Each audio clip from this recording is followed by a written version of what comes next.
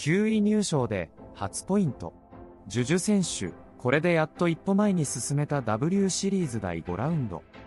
ジュジュ、野田ジュジュ選手は2022年7月29日30日、ハンガロリンクで行われた W シリーズ第5ラウンドに参戦した。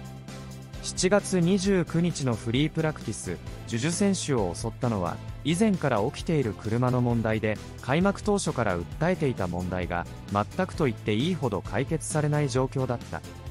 フリー走行から全然、まともに走ることができませんでした。とにかく、まっすぐ走らないとジュジュ選手。そこで予選に向けて、マシンを調整してもらったものの、予選が始まると何も変わっていなかった。というより、フリー走行よりもひどい状況でした。ストレートで、ステアリングが左に曲がっていただけでなく、ブレーキを踏むと、ステアリングが今度は右に引っ張られて、とてもアタックできる状況ではありませんでした。そこで、ジュジュ選手は、マシンの不調が改善するまで、ピットアウトとピットインを繰り返した。しかし、マシンは一向に改善されない。30分間の予選は、半分を過ぎ、ジュジュ選手以外の17台はラップタイムを計測していたが、ジュジュ選手だけがノータイムのままだった。このまま予選を終了させることも考えたジュジュ選手だが、あえてタイムアタックするためにコースインした。やるだけやってみるという感じで出ていきました。明日レースに出るなら、走って確認しておいた方がいいと思ったからです。しかし、そのアタックはステアリングが左に曲がったままの危ない状態で刻んだ不本意な走行だった。満足なアタックが行えずにパドックに帰ってきたジュジュ選手は悔し涙を流していた。モータースポーツは命を懸けて戦うスポーツ。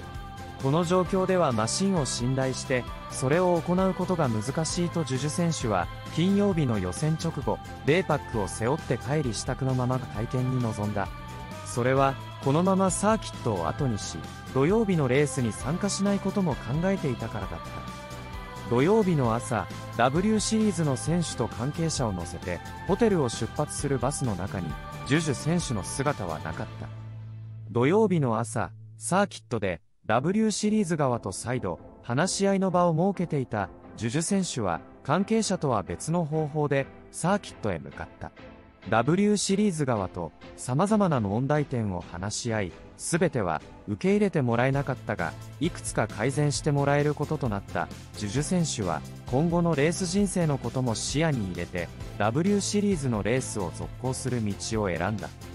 予選が終わった時は、ステアリングを投げて、レースを放棄しようかとも考えましたが、負けても負けても諦めないという気持ちで、意地で、レースに臨みましたというジュジュ選手は、予選16番から決勝スタートさせた。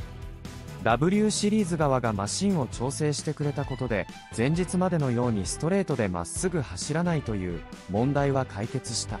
でも、その車に合わせたセッティングを行っていないため、車の調子は正直わかりませんとジュジュ選手。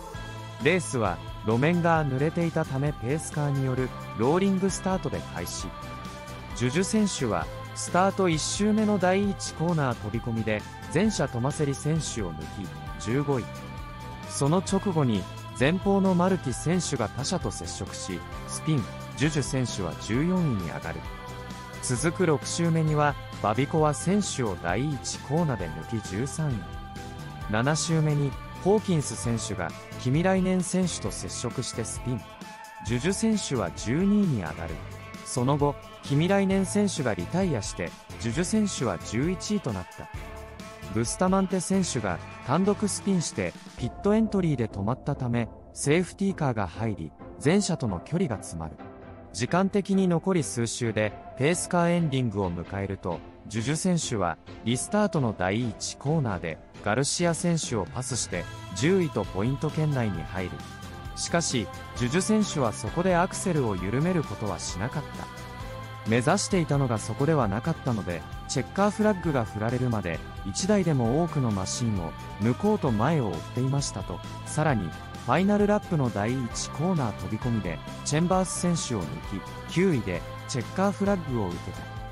初ポイントとドライバーオブザデーも獲得。レース後のジュジュ選手は、前日までの悩みを抱えていた表情は消えていた。本当に苦しい週末でしたけど、今日は今まで起きたいろんなことを振り返らずに、吹っ切れた気持ちでレースできたので、苦しかったけど、楽しかったです。初めてのポイントなので、それは嬉しい。これでやっと一歩、前に進めたという感じですと、ジュジュ選手。